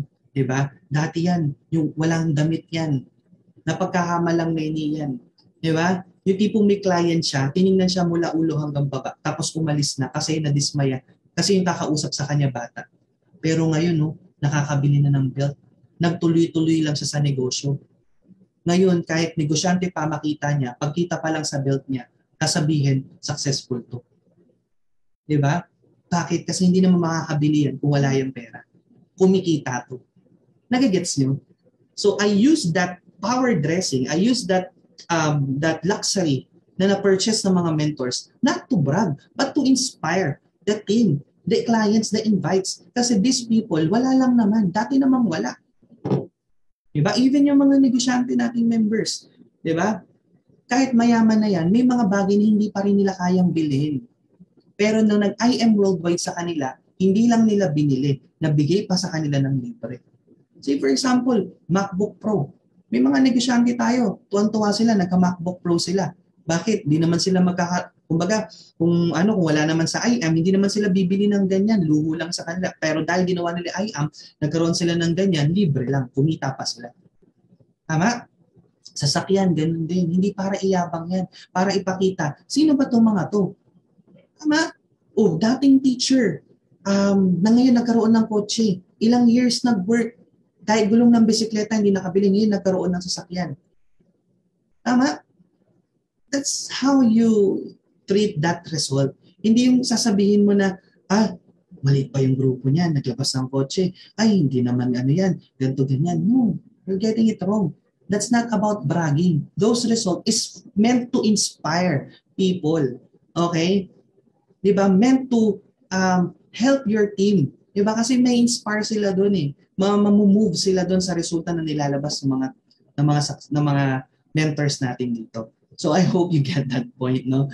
Okay, that's not yabang, okay? Kung nayayabangan yung client ko, eh definitely mayabang yun talaga. 'Di ba? Kasi ang mayabang galit sa kapwa mayabang. so nayabangan is it's it's it's their nature, 'di ba? But ang perspective natin dito as um distributors of IM Worldwide, that is meant to inspire. Okay? So yung resulta, yung achievements, kung nagsusuot mo ng mga bling-bling, nag-Rolex, ang ganyan, that's not to brag, but to inspire, definitely.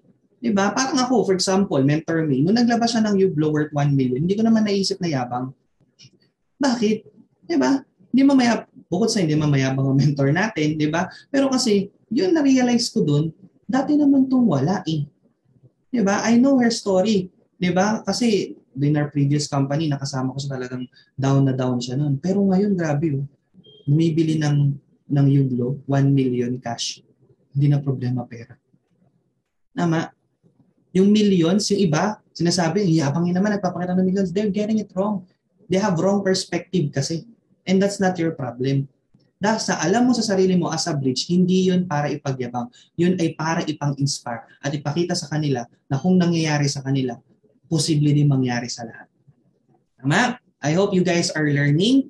Okay? Always use dwarfing, no? Ibig sabihin, um, kapag may mga malalaki kayong bagay, for example, jade, no? Jade package, paano mo mapapaliit yun? So, ido-dwarfing mo yun. ba? Ako, for example, 'di ba? For example, ako po, meron akong business, 'di ba? So sinishare ko sa kanila sa gratitude business ko, I spent almost million, 'di ba? For the for for doon pa lang sa location, 2 months advance, 2 months deposit, ang rent ko doon 45,000 a month. So times 2, almost pang Jade na. May franchise fee, may renovation, may equipment, ang dami kong ginastos, 'di ba? Pero ang kinikita ko po doon eh negative. 'Di ba? Abonado, zero. 'Di ba? So yun yung sinishare ko sa kanila na itong 198 po, maliit lang yan. Kumbaga sa negosyo nakikita ka ng milyon, maliit lang po yan. So ngayon, lumiit ngayon yung mindset nila. Na yung 198, hindi pala yung milyon, hindi pala malaki yun, maliit lang pala yun. Compare magnegosyo ka sa labas. O ito na lang, Jollibee.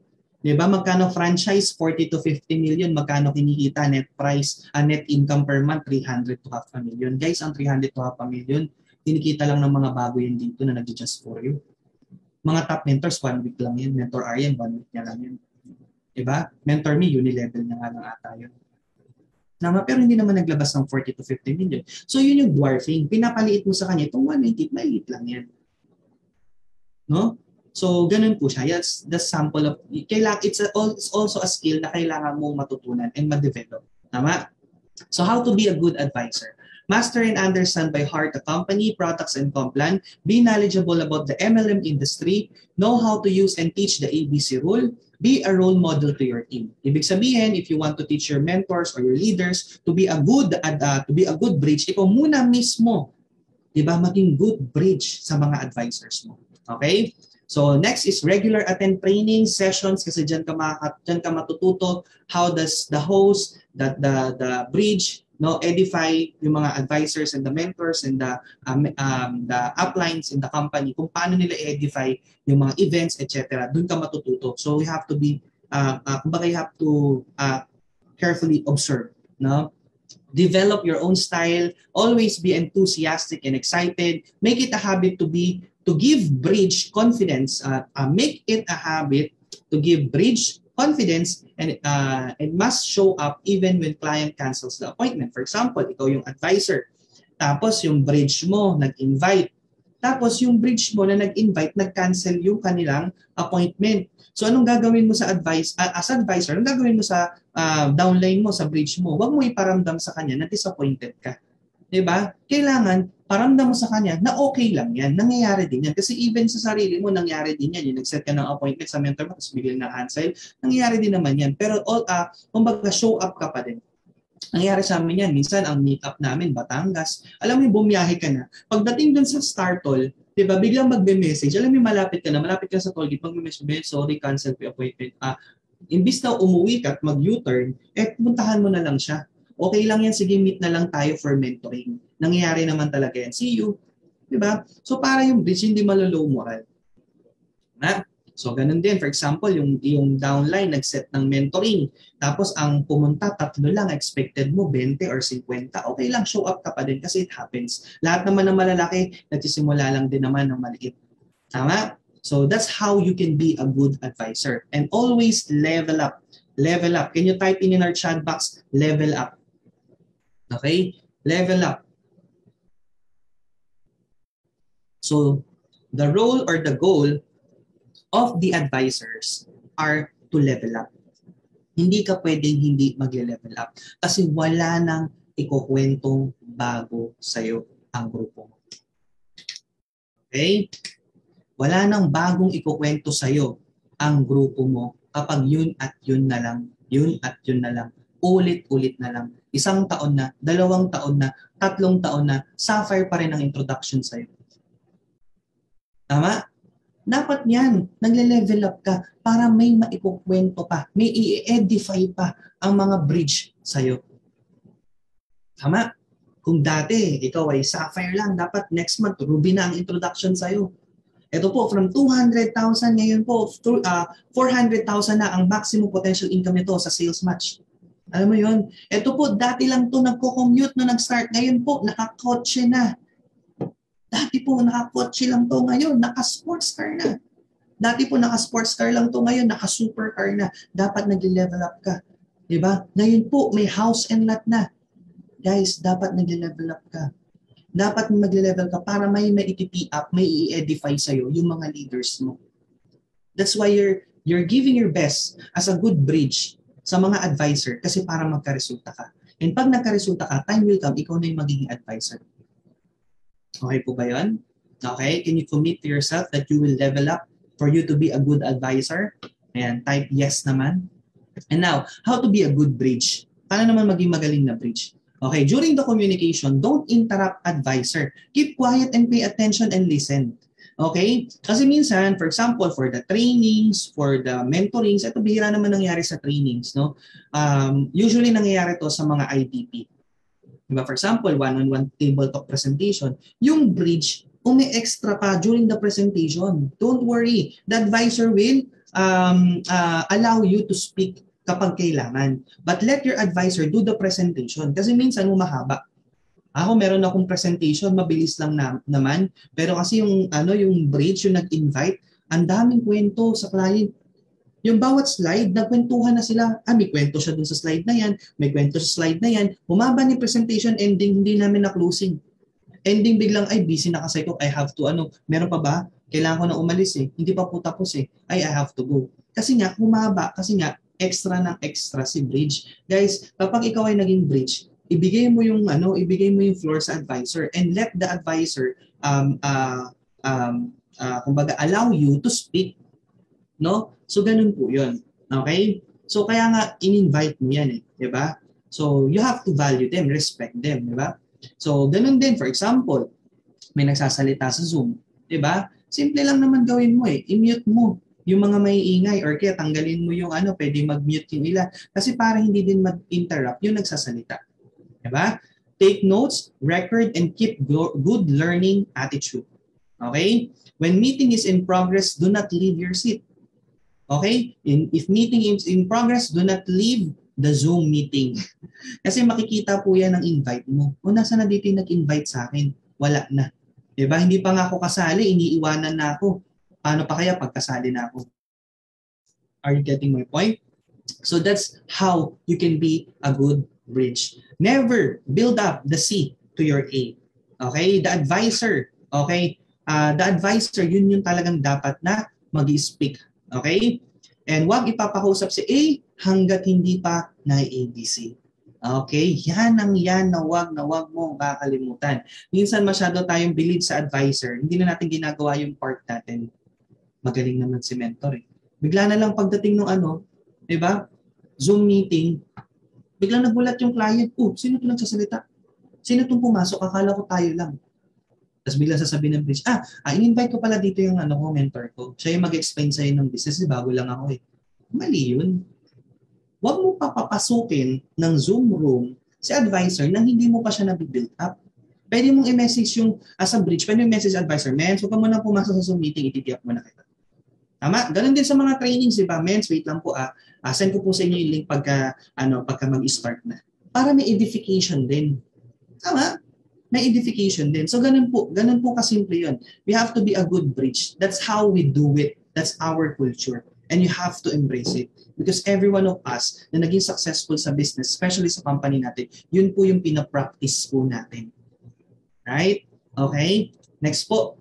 Okay, your role as a bridge before your before bringing your C, your client to your advisor, give information about your client to your advisor using form. Yung yung sinasabi ko nga na kailangan bago ka magpa-present, kailangan sabihan mo muna yung mentor mo, mens, eto papakausap ko sa'yo, nurse to, nag-try na to mag-network marketing pero hindi nagtuloy, eto yung ano niya, uh, pinagkakabalahan niya ngayon. So may idea na yung advisor. Mas mabilis siya makaka mas magiging mabilis ang kanyang way, magiging smooth ang kanyang presentation, at magiging uh, strategic siya kapag ka alam niya yung background or information ng yung client. So very important po yun. Reconfirm the appointment with your client the day before. Trabaho po pala ng bridge yun. Guys, sabi sa manual natin, no confirmation means cancel. Can you type in in our chat box? No confirmation means cancel. For example, you invite someone to do the training, to do the presentation. If walang poster yan, if wala kang message dun sa, sa tao na in-invite mo, it means na hindi tuloy. Tama? Kasi trabaho pala ni Bridge na i-follow up, hindi trabaho ng advisor. Yung in-invite mong advisor, let's say that's a cross line, ipa-follow up ka pa. Mens, tuloy ba yung pa-mentoring mo sa team mo? No. It's a big no. You as a bridge, ikaw ang mapo-follow up sa kanila. Mens, tuloy po yung appointment natin. Bukas, ganito, ganyan. Ito po yung poster sa iyo po. Okay? Pag may invite ka, ikaw din ang mapo-follow up dun sa client mo. Oh, may, may appointment tayo with uh, uh, may mentor, isa siya sa mga nagbigay ng oras, busy siya, ganito, ganyan. Mentor, tuloy po tayo, na-follow up ko na okay po si client. So, ganun po yan. Trabaho po ni Bridge yun. Okay? Para at least hindi po natin makalimutan. Understand that you will be an advisor or a mentor in the future. So kung ano yung ginagawa mong service, kung ano yung ginagawa mong uh, ginagawa mong uh, kumbaga culture or um, uh, what's a good term? 'Di ba? Kung ano yung ginagawa mong uh, ginagawa mo. kung ano yung ginagawa mong practice, yan, that's the term. That, kung ano yung ginapractice mo, bilang isang bridge, yun din ang makikita ng client lahat. Yun din makikita ng lahat ng C at yun lang din yung gagawin. So, always remember that you have to set a good example and have a good, respectful, communicative relationship with the A's in our company. Okay? Let me repeat. Good, respectful, communicative relationship with the A's in our company. Ako, pag may mga bago akong leader, may mga bago akong member, I didn't push them to to uh, to what's the term? 'Di ba? To address me. Okay? I didn't push them to address me or force them to address me as a mentor. Okay? Hindi ko pinupush 'yon. Okay? Pero dapat magkaroon din tayo ng pakiramdam. 'Di ba? Pag nakita mo sa group chat, yung mga members, professionals man or hindi, they address their mentor as a mentor. They address the person na ma-apply nila as a mentor with respect. Diba? So dapat you do the same. Diba? Meron pa ba dito ang tawag nila sa mga apply nila? By the name? Diba? By the name? Diba? Hindi pwedeng ganun. Diba? For example, ikaw, ako, apply ko si Mentor Sharifa. Ang tawag ko lang, ah, Sharifa, meron tayong IBP ngayon. Diba? Lakas makaano nun. Diba? Parang nakaka-low moral yun sa advisor mo. Wait lang. Diba? Ako tutulong sa'yo eh. Tama ba? Di ba? give some respect naman din by addressing me as a mentor. Tama ba? So, ganun po siya. Kailangan marunong din tayo makaramdam. Always remember this. You need the advisors more than they need you. Alin? Okay? Tandaan mo to ha. Bilang isang bridge. Okay? You need the advisors more than they need you. Okay? Kaya dapat ikaw yung marunong mapasama sa mga advisors. May crossline ka. Tama? May crossline ka. Inaalok mong invited sa ano, sa mentoring mo, eh wala ka namang relationship with that mentor. Di ba? Sana man lang before you, ano that, dapat uh, ka muna. Di ba? Alam mo yun, nagparamdam ka muna. Tama ba? Have a good, respectful, communicative relationship with the ex. Tandaan mo, because this person sila makakatulong sa atin sa negosyo. Okay.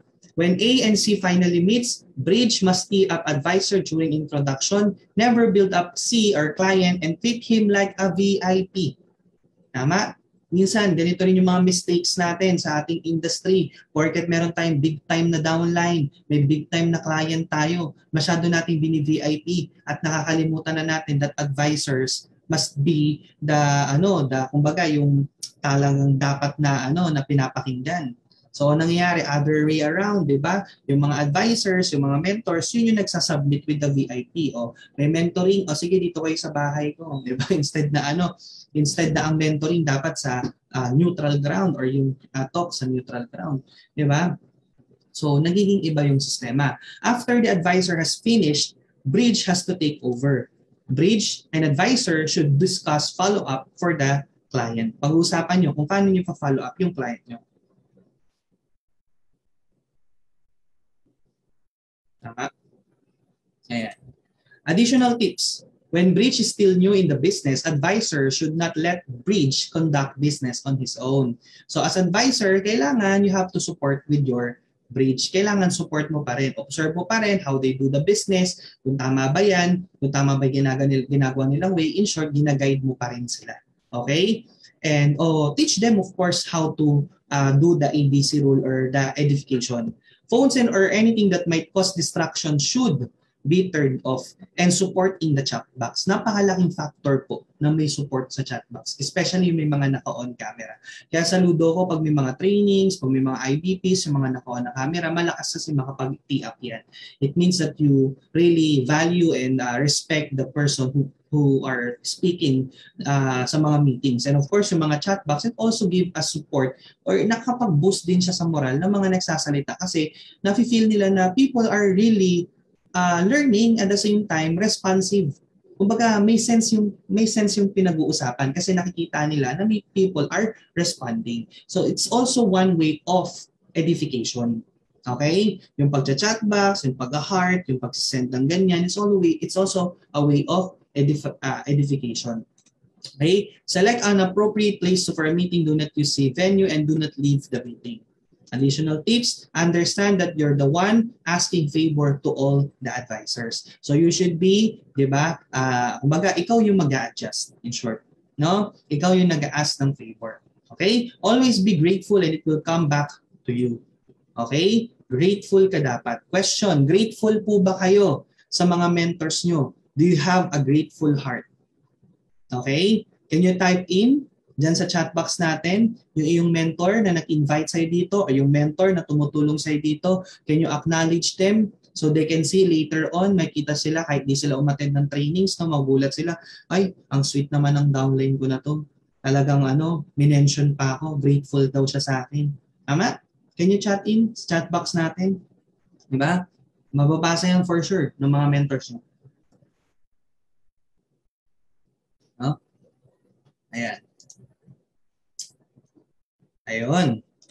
So lastly, ayan, monkey see, monkey do. Okay? So ano yung monkey see, monkey do? Diba? Um, actually, ano yan eh, uh, very important yan. No? Parang sa, ano yan eh, parang sa magulang, di ba? Tandaan mo, di ba, kung ano yung pinapakita mo sa mga anak mo, eh, yun yung tama sa paningin nila. No, as a mentor, yung mga downlines mo, parang anak mo din yan. Tandaan mo yon parang anak mo din yan kung ano yung ugali mo, nakukuha nila yan.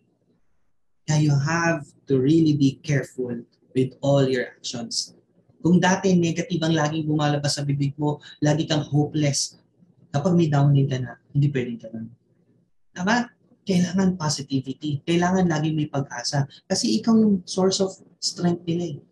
Alam mo, lahat na nakita kong mga magulang, kahit problemado na, hindi nila pinaparamdam sa pamilya nila. Kahit pagod na, hindi nila pinaparamdam sa anak nila na nahihirapan sa pagod na sila kasi ayaw nila ipasa yung burden sa kanilang mga nasa ilalim nila. Ayaw nila ipasa yung burden. Yung mga anak nila hindi. So ganun din sa negosyo natin. Your members, your downlines, parang anak mo yan. Diba? If may problema ka, don't pass the burden to your downlines. Kasi it will not help. Ano ba ang rule natin? Ano ba ang protocol natin dyan? When you're up, go down. Okay? Kapag ang taas ng sales, may resulta, may production, pa-meeting ka, o pag-gather ka, pakain ka. Tama? Pagpa-thank you ka, Thanksgiving sa grupo mo. Kasi nga, maganda yung ano, magpa-event ka, magpa-raffle ka. Maganda yung nangyari. But you're down, go up. Kausapin mo yung mga mentors mo. Kasi for sure, kung ano yung nararamdaman mo, na-experience yan. Pero kapag down ka, tapos nagpa-meeting ka pa, mens, uh, guys, uh, meeting tayo. Tapos walang pag, wala kayong ibang pag-uusapan sa meeting kundi issues, problema. Do you think it will help sa organization? Ah, si IM ganito. Ah, si mentor ganito. O oh, guys, quit na tayo. Walang mangyayari. Di ba? No. Di ba? That will not work. No? So, kapag may mga ganyan, dapat sa'yo pa lang as a leader, tapos na yan. Okay, yun yung hindi ko makakalimutan. I think it's, it came from a diamond mentor, uh, mentor uh, Jonathan Capili. Kung leader ka talaga, kung leader ka talaga, kapag may problema, sa'yo pa lang tapos na. Hindi na bumababa yan. Tandaan nyo yan. Okay? Hindi ko makakalimutan sa training yan. Okay? Sabi ni Mentor Jonathan, kapag may problema as a leader, sa'yo pa lang, tapos na yan. Hindi mo na kailangan ipasa pababa. May problem ka, di ba? Magbagal ng system, sa'yo pa lang, tapos na yan. Okay lang yan, positive lang yan, gato ganyan. Para pag nagtanong yung downline mo, okay lang yan, ganyan lang talaga nag-update system kahit naman ibang bangko nag-update din. Facebook nga nag-shutdown ng 6 hours eh. Ito, di ba? Alam mo yung ganun? Di ba? Sa'yo pa lang, you have to defend the advisors. Kasi those people will help you. Okay? They're not against you. You should not against the advisors. You should be with the advisors. Okay? I hope I hope guys you learned with this topic, no? And I I hope that uh yung topic na to eh mauulit-ulit sa mga trainings natin. So everyone in this company will be reminded how to uh, how to uh, do the edification process and the right culture of ABC role. So before I end, uh, let me promote this very uh, exciting um, event in the network marketing history. So this is called BFH, which stands for Business for Home. It's a marketing event, growth conference for all the networkers in the whole world. Hindi lang sa Pilipinas, pati buong mundo. So guys, ang ticket, it's uh, i-mention ko na lang yung link uh, dito sa ating chat box. And I think ipopost naman yan sa mga group chat. No? Yung link na yun, doon lang kayo pupunta. Just uh, ty- uh, ipoput nyo lang doon yung credit details, credit card details nyo so you can purchase a ticket mas early, mas maganda kasi may early bird yan. So pag medyo matagal ka na nag sign up, medyo nagmamahal ang ticket. So if ever, this will be the second BFH na event, Growth Conference in Network Marketing na invited sa IM Worldwide. Alam nyo, uh, there will be I think 40 or 35 or 38 speakers na guys, hindi lang basta ano, hindi lang basta milyonaryo. If you can convert their earnings, billionaire na sila.